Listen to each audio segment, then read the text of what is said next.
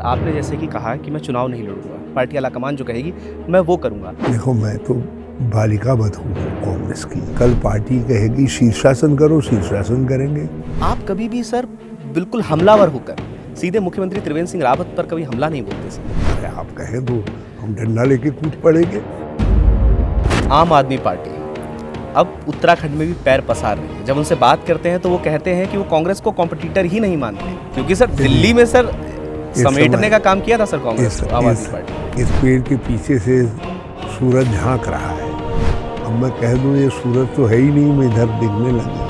विधानसभा चुनाव उत्तराखंड में। आप यहाँ पे नेतृत्व करने वाले हैं कांग्रेस का? हमारा राहुल जी करेंगे। आप कहते हैं कि त्रिवेंद्र सिंह रावत पूरे पाँच साल मुख्यमंत्री रहेंगे ये जानते हैं जिस समय तक हरीश रावत है त्रिवेंद्र सिंह रावत का पाँच साल पक्का है। आपका जो पार्टी में जलवा है वो कायम है। आपको प्रभारी बनाया जाता है जहाँ पर पहले से आपकी जो पार्टी है वो सरकार में है। वजह क्या है? सर दस जनपद की इतनी करीबी क्या है? जिस बहू ने उसी घर में आँखें खोली हो तो लोगों को लगता है ये जाएगा कहाँ?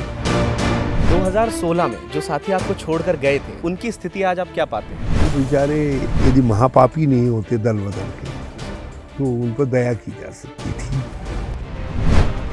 कावेंद्र चौहान के सवाल।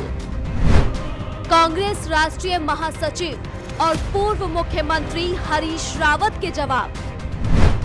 देखिए, हरीश रावत का अनकट इंटरव्यू। सोमवार 22 फरवरी की रात 8 बजे, न्यूज़ वर्ल्ड इंडिया पर।